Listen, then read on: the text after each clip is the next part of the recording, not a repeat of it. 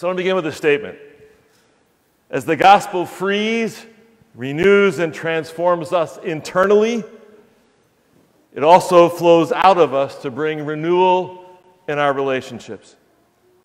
That a gospel centered life is not just about me.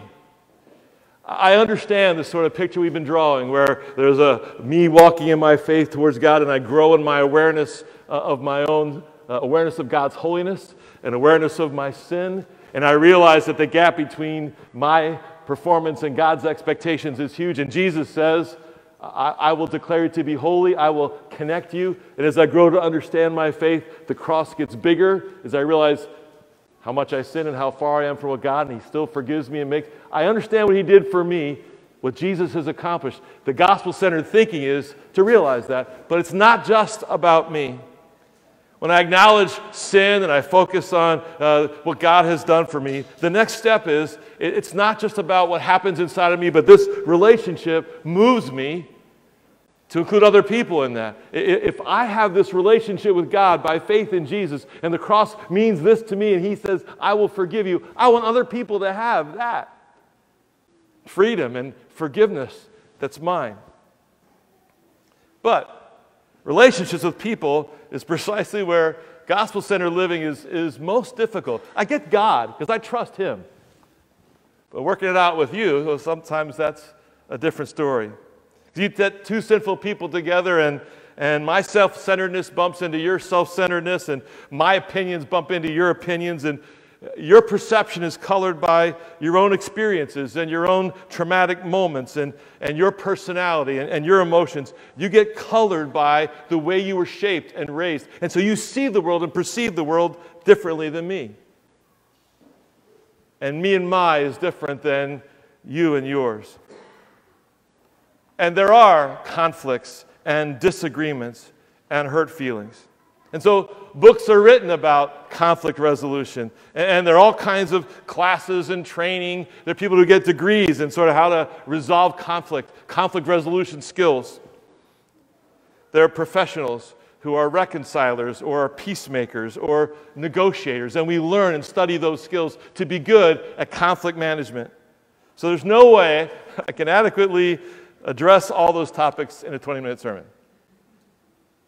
And I also find it a bit challenging or humorous or ironic or maybe just lousy timing that this is the topic I'm supposed to talk about uh, the Sunday before this particular election. Because the country seems to be divided. And every disagreement seems to turn into a serious offense. And the intensity of those feelings seems to be magnified lately. So there are literally friends who aren't talking to each other, and parents and kids who don't speak to each other, and people are angry and frustrated, and the verbal attacks have almost become normal to us. And the stage is set for, for violent reactions, so we're all a little bit cautious or anxious about what's going to happen this coming week. And I don't know about you, but I'm sick and tired of the attack ads. Amen? A couple days and we'll be done. And thank God that we're finally through that period of life. And we can look at those people and think, man, how. But I wonder about your attack ads, like the personal ones, the little digs you put against people at work, or the way you're sort of building an alliance against somebody uh, who said this or did that. I wonder rather than those attack ad people, I'm so glad they're going to be done. What about you? And the way that you attack other people and tear them down and the things that you say that hurt and destroy. See, it's easy to talk about conflict when it's somebody else, but today we want to bring it down to this more personal place of our own life and how do we live a, a gospel centered way of resolving conflict because we get pretty self protective. Now I'm exhausted. And conflict does that. It wears us out. And, somewhere along the way, we get stupid. Because there's this part that happens when there's a conflict, and then I just see you coming in the room, and I sort of have this reaction, and it's literally a biophysical, metaphysical reaction, not metaphysical, biophysical reaction, physiological, that's the word, a physiological reaction inside of me. You step in the room, and the hair on the back of my head gets on end. You know those people? And, and you sort of feel yourself tensing up when a person walks in the room, And already they walk in the room and fight or flight kicks in and get adrenaline pumps. And then what happens? Your muscles tense up. You're ready. You're ready to attack. You're ready to defend. And what happens then is your blood goes to your muscles everywhere else. It's not in your head. And literally, you get stupid. And all of a sudden, you're not thinking clearly, and you say and you do things that you might not normally do because you're ready, you're geared up for a fight. And yet, lately, there are serious issues that are being discussed and debated. And, and last week, we read the story about people who gather around themselves, people who say what they want to hear. It used this phrase, that the Bible phrase was people gather around them, people that have what their itching ears want to hear. We just get people to tell us, and so we build our little alliances of people who agree with us and say the same thing so we can attack the other people because they're different. And we're sort of building alliances and fighting, and the conflict seems to grow. And we pick sides and we attack the other people. And, and we're in this crazy time where that seems to be normal. So, one of my personal concerns as your pastor is that we seem to be latching on to, to little truths and we sort of find someone that will agree with our little truth. But it's not necessarily the whole truth, it's not the whole picture. You're not wrong, you're just not seeing the whole picture. And one of the keys to resolving conflict is actually to figure out what's actually true. I just want Walter Cronkite to come back and tell me this is the truth. Or remember Ross Perot's little charts and I want, I want Ross, come give me the charts and diagrams and tell me what the truth is. I'll deal with it. But now I don't know what the truth is. It's a nuanced thing. Every, and so we're in this place dealing with conflict and tension and not even knowing exactly where to stand and what the truth might actually be. And conflicts are inevitable in the sinful world. And so we have to figure out what's, what's the gospel centered approach to resolving conflict. So this morning I want to bring it down just personal to you and me. Can you think of the most recent fight you had? Maybe it was with your spouse or your kid or a coworker. Who was right and who was wrong? Well, obviously, you were right. And stop for a moment and think about your actions and your reactions during the time of conflict. Because in this Bible study, the gospel centered life, it talks about your behavior probably falls into one of two categories. You kind of lean one way or the other. I call it skunks and turtles. You mess with a skunk, the whole world stinks. You mess with a turtle, it crawls into its shell. That describes that we tend to have one of two reactions. We tend to either be attackers or withdrawers. Now, attackers, if that's sort of more like you, uh, you like to be on the offensive. You place a high priority and value on justice. And so matters uh, are greatly important to you about who's right and who's wrong. Here's some of the signs you might be an attacker. You deal with anger or frustration by venting it. Everybody knows, they can hear you. You argue your case passionately. You ask questions like, How do you know that? And can you prove that? You want to fight until the fight is over or somebody wins and somebody loses. You cross examine like a lawyer in order to get to the heart of the facts. You have kids like that? When you're a parent, you know, they, got, they know how to fight and argue and they make their case and they, and they probably learned that from you. And winning the argument is more important than loving the person. And you usually find a way to turn argument to focus on the other person. If that describes you, you may be on that side. Some people tend to be more withdrawers, more of the turtle type. With these people, the tendency is often to be more defensive. And they do whatever they can to avoid a conflict or a fight. If you're a withdrawer, maybe these are some of the patterns you can recognize in yourself. You deal with anger or frustration by holding it in or suppressing it. You have opinions, but you keep them to yourself because you don't want to cause a fight. You want to keep the peace. You ask questions like Do we have to talk about this now? Or is this really necessary? You'd rather avoid a fight than win one. And you sometimes literally physically leave in order to gain space, to avoid the fight. Now, the fact is, whether you're one or the other or tend to lean one way or the other, these are called normal, natural responses. And they may be natural and normal, but they're not necessarily biblical and not necessarily gospel centered. So I learned from this story about Paul and Peter in Galatians chapter 2, a little setting. Uh, the church had begun to grow, and Peter's with a group of people. And there are Jews and Gentiles there. He's been eating dinner, but from Jerusalem comes this group of Judaizers. There are Christians who believe that they started off Jewish. If you want to be a Christian, you have to sort of become Jewish first, practice all the Jewish laws and rites.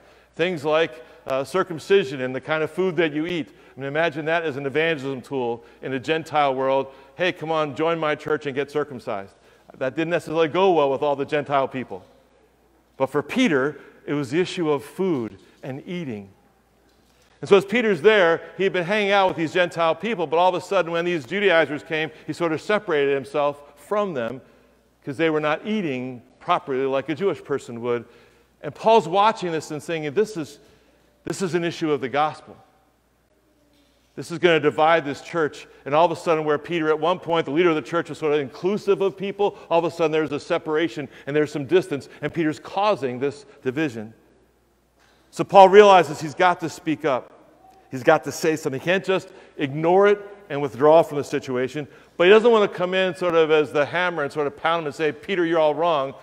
So, how does, how does Paul jump into the conversation? We can learn. When Peter came to Antioch, I, Paul, opposed him to his face because he stood condemned. Sometimes the Bible says the first thing you do is you go to the person themselves. That's normally the first step. In this case, it was such a public thing that Paul said, I have to address this in front of everybody so everybody hears this conversation. For before certain men came from James, he was eating with the Gentiles. But when they came, he drew back and separated himself fearing the circumcision party. And the rest of the Jews acted hypocritically along with him, so that even Barnabas was led astray by their hypocrisy. But when I saw that their conduct was not in step with the truth of the gospel, I said to Peter before them all, If you, though a Jew, live like a Gentile and not like a Jew, how can you force the Gentiles to live like Jews? And here's some things you learn from this little interaction. First, Paul approached Peter directly. He didn't build an alliance, didn't get a group of people behind him to say, hey, we're going to get Paul. Didn't say, we have a group that says, Paul, you're wrong. He just went face to face and said, Peter, what you're doing is not consistent with the gospel that we proclaim. And the second thing is his motivation wasn't to, to prove Peter wrong or to gain a following or to divide the church. His purpose was to make sure that, that Peter understood. He was there to defend the gospel. He was there to say, Do you understand, Peter, what's going on here? Because you say you have a relationship with God, and so these people, but what you're doing is turning away from this and sort of joining a group of people, and it's causing a division. It's leading you away from this relationship with God. And his purpose, his motivation was to resolve the conflict and bring Peter back. And third, Paul asked a question and wanted Peter to give a response. He wanted him to think about let me ask you a question that helps you think about where the problem is. I call it the art of Christian conversation. So we have this sense in America that I'm not the judge, I'm not supposed to judge anybody. But here's the challenge with that. If I love and care about you, and I see you have a relationship with God, but you start walking away, and I do nothing, how, how does that demonstrate my love and care for you? But if I see you have a relationship with Jesus and you begin to get in the dirty water, you begin to do things or say things that are taking away at some point, I'm not the judge. I'm going to say, wait a second, I'm, I'm, I'm concerned about you making these choices and treating people this way and talking like that that doesn't seem consistent with the faith that we say we have. I'm not the judge, God is, because I've got my own stuff. Whenever I go to somebody and, and accuse them or point out a fault and I create a conflict, then it's always that me against you and my opinion. And, and I want to start out with this humble place. Look, I, I have my own sinful stuff, and I want you to hold me accountable when you see me running away from my relationship with Jesus. But right now, I got to talk to you about this because I see what you're saying and doing is doing damage and, and hurting and, and, damaging your relationship with God and damaging, in this situation, the church. And, and I care about you. And then ask good questions. Sort of that moment you say to somebody, look, This is what I'm seeing. This is what I'm hearing. Am I right? Great question. I hear you saying this, and it sounds like that to me. Am I missing something, or is that, is that true? I hear you're doing this now, and, and this is what it looks like to me. Am I missing something, or is that right? Ask them. I, I see this, I hear this, it sounds like that. Am I right, or am I missing something? And the second thing, you say this, and God says that. How do you put that together? Here's what I hear you saying and what you're doing and describing how you're behaving. Here's what God calls us to be, and they're not the same. This is you, this is that. How do you put that together? And it's asking you a question in the middle of the conflict to say, I want you to wrestle with how you live out this faith. How do you keep your relationship with Jesus strong as you're listening, as you're living? The verse we read in the New Testament was about being a reconciler, uh, uh, to be at peace, to be one that said forgiveness isn't done till the relationship is one. If anyone is in Christ, the new creation has come, the old is gone, the new is here. And all this is from God, who reconciled the world to himself. He says, I, I, will take the sin away. I will connect my holiness and your performance. Jesus will be the cross, the connection together. I will reconcile. I will bring you back together. We have a relationship that sin cannot destroy that God was reconciling the world to himself, not counting men's sins against them. And he's committed to us this message of reconciliation. We are therefore Christ's ambassadors as though God was making his appeal, his reconciling, conflict resolution skills through us. The key is to help people think about their relationship with God. And I've been thinking about that phrase where God says he's not counting our sins against us. And he has every right to.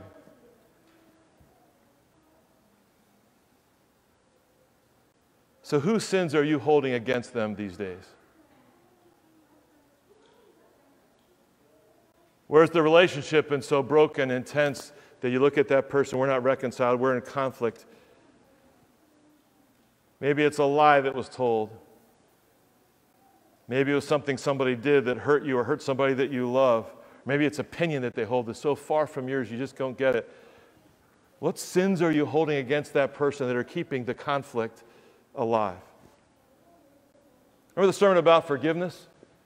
It talked about how God took the initiative to heal the relationship with us. God reconciled us to himself.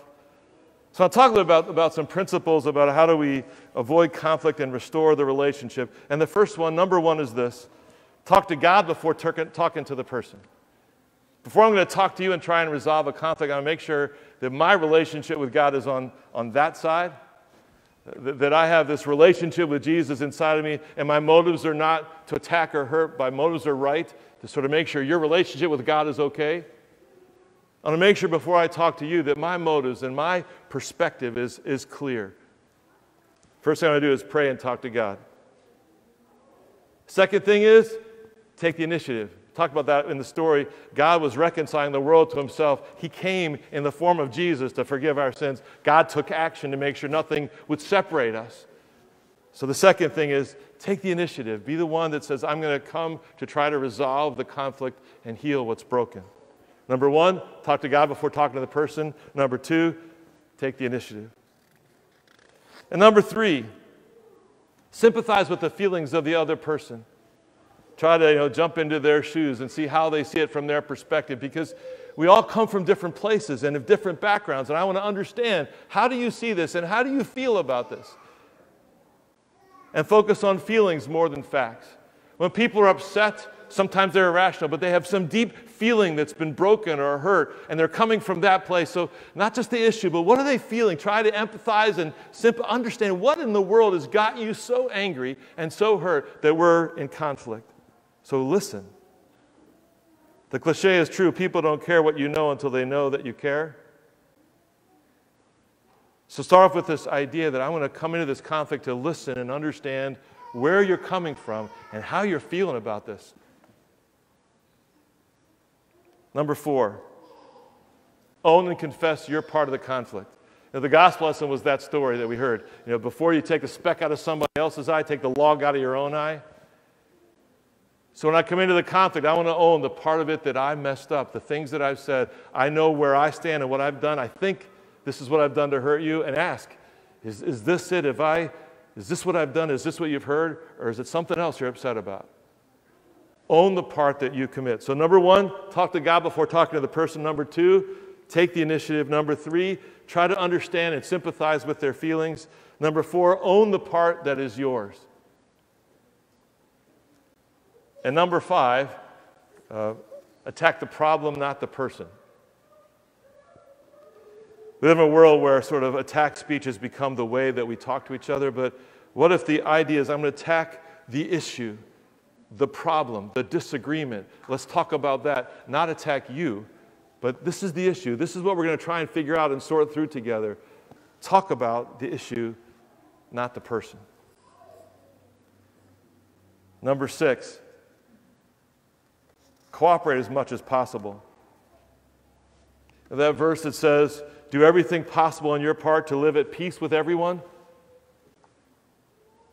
What if I approach this saying, I- am here uh, to try to listen, to try to understand, to negotiate, to listen, to compromise? Is there a place where we can agree to meet or agree to disagree? But we're going to try and cooperate at coming to a solution, some way to resolve what's broken between us. We may end up with very different opinions, but we don't have to destroy each other in the process.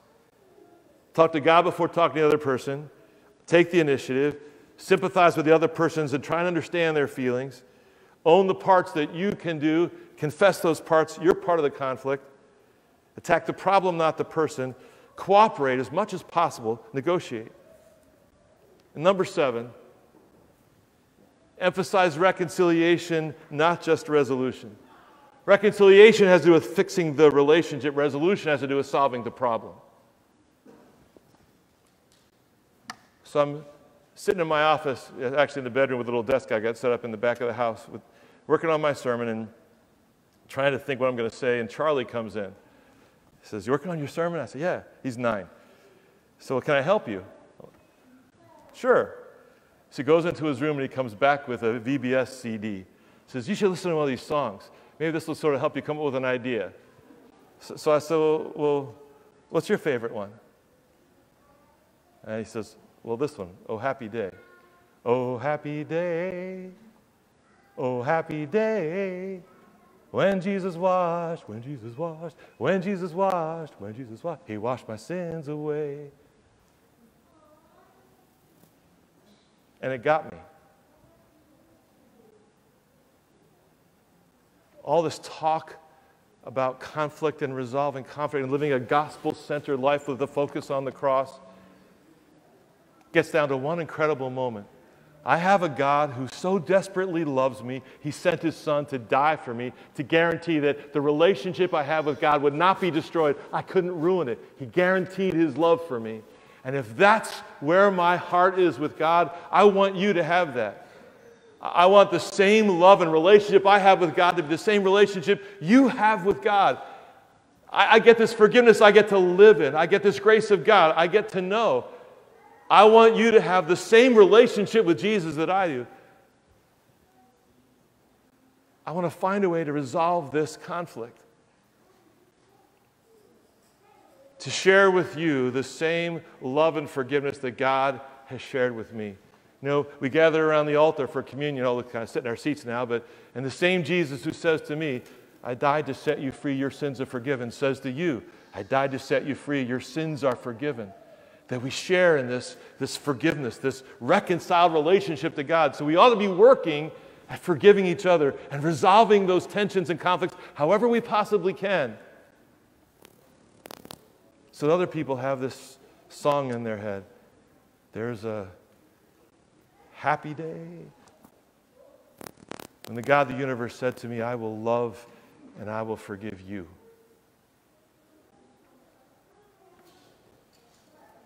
And what if our church became known for that? That this is a place where people listen and where people work to resolve what's broken. This is a place where forgiveness happens.